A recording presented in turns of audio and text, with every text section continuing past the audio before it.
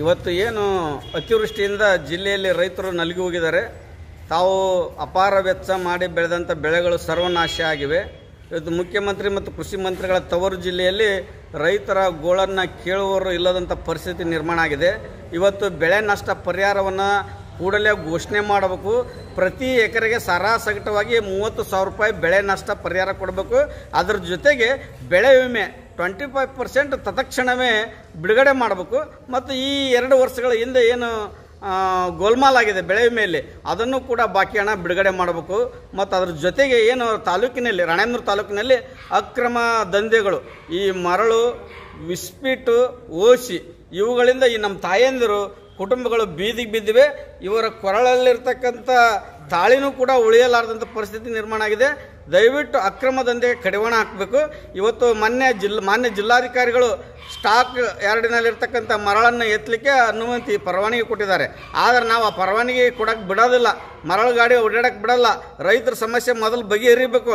ಅಂದಾಗ ಮಾತ್ರ ನಾವು ಮರಳು ಗಾಡಿಗೆ ಕಾನೂನು ಪ್ರಕಾರ ಇದ್ದರೆ ಅನುಮತಿ ಕೊಡ್ತೇವೆ. ಯಾಕೆಂದರೆ ಇವತ್ತು ರೈತರು ಇಂಥ ಸಂಕಷ್ಟದಾಗ ಅದರ.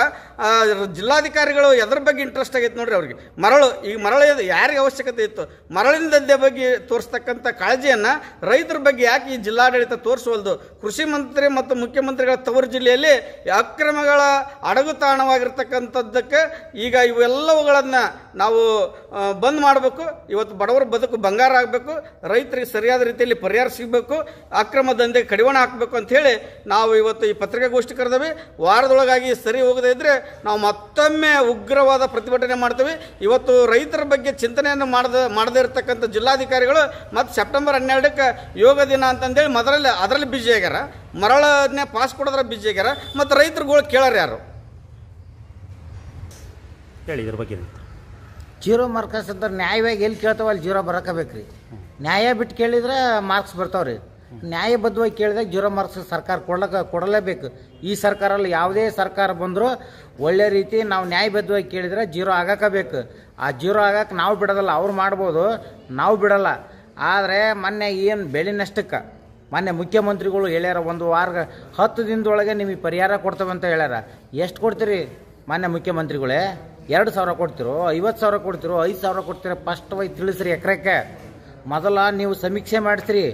ರೈತರು ಕೊಟ್ಟಂಥ ಫೋಟೋಗಳು ಆಧಾರ್ ಕಾರ್ಡ್ಗಳು, ಉತ್ತಾರಗಳು ತಾಲೂಕು ಇದರಲ್ಲಿ ಕೃಷಿ ಆಫೀಸ್ನಲ್ಲಿ ತುಂಬಿ ತುಳುಕ್ತದವು.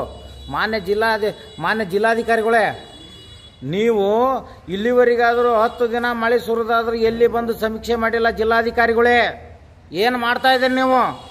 ಮೊನ್ನೆ ದಿಢೀರಂತ ಒಂದು ಮೀಟಿಂಗ್ ಕರೆದ್ರಿ. ಎದ್ರ ಬಗ್ಗೆ? ಈ ತಾಲೂಕಿನ ಅಭಿವೃದ್ಧಿಗೆಲ್ಲ, ಈ ತಾಲೂಕಿನ ಈ ದೇಶದ ಅನ್ನ ಹಾಕುವ ರೈತನ ಬಗ್ಗೆ ಅಲ್ಲ, ಅಕ್ರಮ ಮಳಲನ್ನು ತಂದಿದ್ದ ಬಗ್ಗೆ ನೀವು ಮೀಟಿಂಗ್ ಕರೆದು ಮೊದಲು ಮಳಲು ಹೊಡೀರಿ ಅಂತ ಹೇಳ್ತಿದ್ದಾರೆ.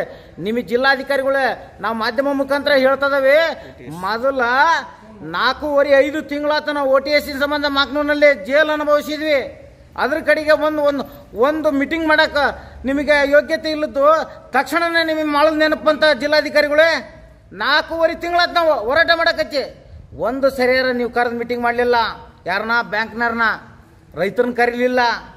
ದಿಢೀರಂತ ನಿಮಗೆ ಮಳೆ ನಿಮಗೆ ಅಷ್ಟೊಂದು ಅನುಕಂಪ ಬಂದ್ಬಿಡ್ತಾ, ಅಷ್ಟೊಂದು ನಿಮಗೆ ಮಳೆಯಿಂದ ಒತ್ತಡ ಬಂದ್ಬಿಡ್ತವ ಜಿಲ್ಲಾಧಿಕಾರಿಗಳೇ. ಈಗ ಹೇಳ್ತಾವೆ ಜಿಲ್ಲಾಧಿಕಾರಿಗಳೇ, ರೈತರ ಮೇಲೆ ಕನಿಕರ ಇರಲಿ. ಬಸವರಾಜ ಬೊಮ್ಮಾಯಿ ಅವರೇ ಈ ರಾಜ್ಯದ ಮುಖ್ಯಮಂತ್ರಿಗಳೇ, ನೀವು ರೈತ ಕುಲದಿಂದ ಹೋದರು, ನೀವೇನಾದರೂ ನಾಳೆ ಹೆಕ್ಟೇರಿಗೆ ಹತ್ತು ಸಾವಿರ, ಇಪ್ಪತ್ತು ಸಾವಿರ ಮಾಡಿದರೆ ಯಾವ ಕಾರಣಕ್ಕೂ ಆಗಲ್ಲ.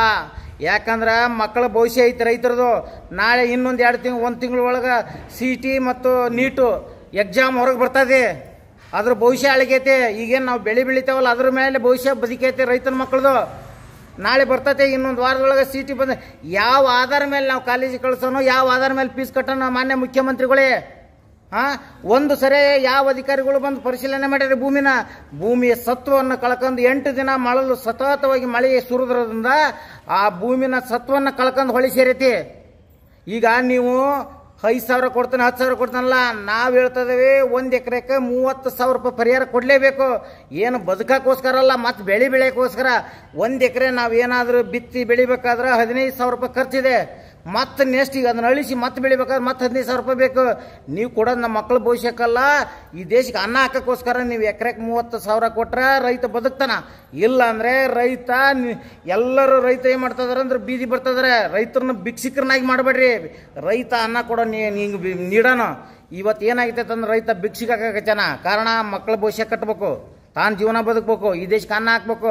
ಮೊನ್ನೆ ಮುಖ್ಯಮಂತ್ರಿಗಳು ಎಪ್ಪತ್ತೈದನೇ ದಿನಾಚರಣೆಯಲ್ಲಿ ಏನು ಹೇಳಿರಿ? ಅಕ್ಕಿ ಇವತ್ತು ಅಕ್ಕಿ ಧಾನ್ಯ ಹೆಚ್ಚಿಗೆ ಆಗೈತೆ ಅಂತ ಅಂತೂ ನೀವು ಅಡ್ವರ್ಟೈಸ್ ಕೊಟ್ರಿ. ಆ ಅಡ್ವರ್ಟೈಸಿಗೆ ಕಾರಣಭೂತರು ಯಾರು? ನಾವು. ಏನ್ರಿ? ಬಜೆಟ್ ಇಲ್ಲ, ರೊಕ್ಕ ಇಲ್ಲ ಅಂತ ಯಾರು ಹೇಳೋದು? ರೈತ ರೈತ ಮೊದಲು ರೈತನ ಬದುಕ್ಸ್ರಿ. ಕಾರಣ ಏನಂತಂದ್ರೆ ರೈತ ಬೆಳೆದಂಥ ಮಾಲಿನಿಂದ ಕಚ್ಚಾ ವಸ್ತುವಿಂದ ನಿಮಗೆ ಟ್ಯಾಕ್ಸ್ ಬರ್ತೈತಿ. ಮೊದಲು ರೈತ ಬೆಳಿಲಿಲ್ಲ ಅಂದ್ರೆ ಯಾವ ಕಚ್ಚಾ ವಸ್ತುಗಳು ನೀವು ನೀವು ರಾಯಲ್ಟಿ ಟ್ಯಾಕ್ಸ್ ಹಾಕ್ಬೇಕಾದ್ರೆ ಏ ಎದ್ರದ್ದು ಹಾಕ್ತಾರೆ. ಎಲ್ಲದ್ರ ಮೇಲೆ ಹಾಕ್ಬೇಕಾ? ಅದನ್ನ ಮುಂಚೆ ಬೆಳೆಯರು ಯಾರು ಇವತ್ತು ನೋಡ್ರಿ ರಾಣೆಬೇನೂರಿನಲ್ಲಿ ಪಾಪ ತಾಯಂದ್ರೆ ಬಂದಾರ. ಅವ್ರು ಎದಕ್ಕೆ ಬಂದಾರ ಅಂತಂದ್ರೆ ನಮ್ಮ ಊರಿನಲ್ಲಿ ವಿಪರೀತ ಬ್ರ್ಯಾಂಡಿ ಮಾರ್ತಾ ಇದಾರ. ನಮ್ಮ ಭವಿಷ್ಯ ಆಳ್ತಾ, ಓಸಿ ಬರಿತಾ ಇದಾರ. ಭವಿಷ್ಯ ಆಳಕತಿ ಕಿರಾಣಿ ಅಂಗಡಿಗೆ ಹೋದ್ರೆ ಬ್ಯಾಳಿ ಬೇಕು, ಅಕ್ಕಿ ಬೇಕು ಅನ್ನಂಗಲ್ಲ ಅಂತ ಯಾವ ಮಾಲ್ ಬೇಕಂತ ಕೇಳ್ತದಾರಂತ ಪಾಪ ಒಕ್ಕಾರ ಹೇಳ್ತದಾರ ನಮಗೇನಾಕತಿ ಅಂತಂದ್ರೆ, ನಮಗೊಂಥರ ನೋವಾಕತಿ ಇವರೆಲ್ಲ ಬ್ರ್ಯಾಂಡಿ ಸುದ್ದಿ ತಂದ್ಬಿಟ್ಲೆ ನಾವು ಕಬ್ಬು ಬೆಳೆದದ್ಕಲ್ಲ. ಓಚಿ ಹಾ? ನಾವು ಕಬ್ಬು ಬೆಳೆದಕ್ಕಲ್ಲ ಆ ಹಾಲ್ಕೋದ ಆ ಆ ಒಂದು ಮಲಸ್ನಿಂದಲ್ಲ ನೀವು ಬ್ರ್ಯಾಂಡಿ ಮಾಡೋದು ನಾನು ಇವ್ರು, ಇವರೆಲ್ಲ ಗೋಲ್ಡ್ ನೋಡಿದ್ರೆ ರೈತ ಕಬ್ಬು ಬೆಳೆದೇ ಬಿಡ್ಬೇಕು. ಈ ಶಾಪ್ ಎಲ್ಲಿ ನಮಗೆ ತರ್ತತೆ ಆಗೈತ್ರಿ. ರೈತ ತರ್ತತೆ ನಾವು ಪರಿಸ್ಥಿತಿ ಬಂದ್ಬಿಟ್ಟತ್ರಿ.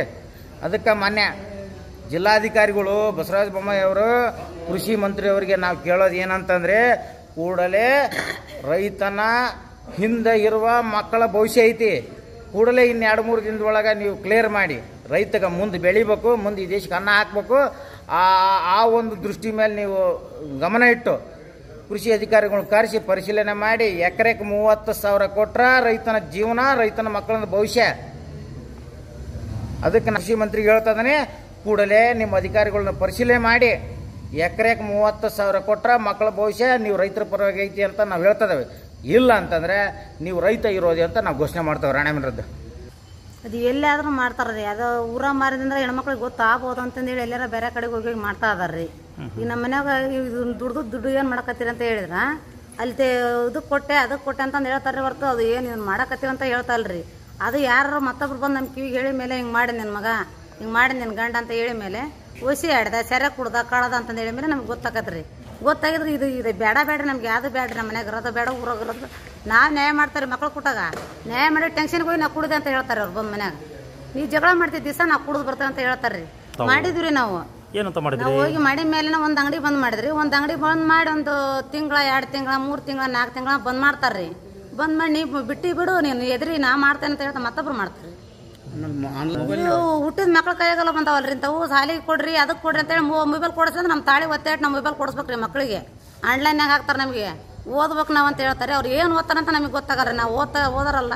ಬರೆಯರಲ್ರಿ ಒನ್ನೇ ಅದು. ಮಕ್ಳು ಓದಕತ್ತಾರ ಬಿಡ ಅಂತ ನಾವು ಸುಮ್ ಕುಂದಿರ್ತಾರೆ ಅವ್ರು ಏನು ಮಾಡ್ತಾರಂತ ನಮ್ಗೆ ಏನು ಗೊತ್ತಾಕತ್ರಿ? ಈಗ ಅದ ಸರ್ಕಾರ ಕೊಡ್ಬೋದಲ್ರಿ? ಓದಿದ ಮಕ್ಳಿಗೆ ಡಿಗ್ರಿ ಮುಗಿಸ್ತಾರೆ, ಮಕ್ಳು ಮನ್ಯಾಗ ಅದಾರ್ರಿ. ಅದ ಮಕ್ಳ ಕೈಲಿ ಸೆರೆ ಮರಕ್ ಹಚ್ಚಾರ್ರಿ ಆ ಮಕ್ಳಿಗೆ ಏನಾರ ಉದ್ಯೋಗ ಕೊಡ್ಬೋದಲ್ರಿ? ಆದ್ರೆ ಅವ್ನು ಕೊಡ್ತಾವಲ್ಲ ಅಂತ ಯಾಕಂತ ನಮಗೆ ಗೊತ್ತಾಗಿಲ್ರಿ.